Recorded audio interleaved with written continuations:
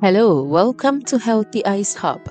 In our previous video, we talked about what happens next after one is diagnosed with glaucoma. Today's video will focus on managing glaucoma with eye drops. Please like, share, comment and subscribe to this channel if you haven't already. Also press the notification button to receive more updates when new learning materials are uploaded. Let's begin. Eye drop is the first line treatment for glaucoma. There are several different types that can be used, but they all work by reducing the pressure in the eyes. These drops are normally used between 1 and 4 times a day. It is important to use them as directed, even if you have not noticed any improvement with your vision. Your sight is at risk if you do not stick to the recommended treatment regimen.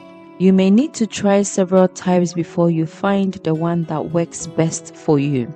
Sometimes you may need to use more than one type at the same time.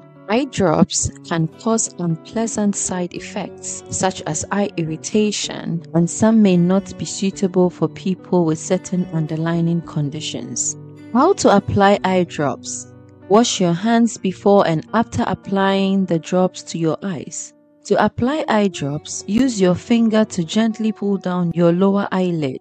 Hold the bottle over your eye and allow a single drop to fall into the pocket you have created in your lower eyelid. Gently close your eye and keep it closed for a few minutes. If you are using different types of eye drops, allow at least 5 minutes between using the different drops.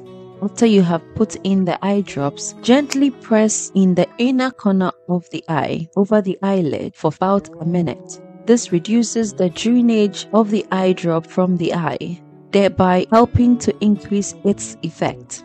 It also helps to reduce any side effects. Although laser and surgery can be done to manage glaucoma, eye drops are always the first choice and main treatment regimen. Hence, use your eye drops as prescribed and when you have side effects, do not stop using the drops. Instead, report to your local eye provider for further management. Please like, share, subscribe, and press the notification button to receive more interesting learning materials. Thank you.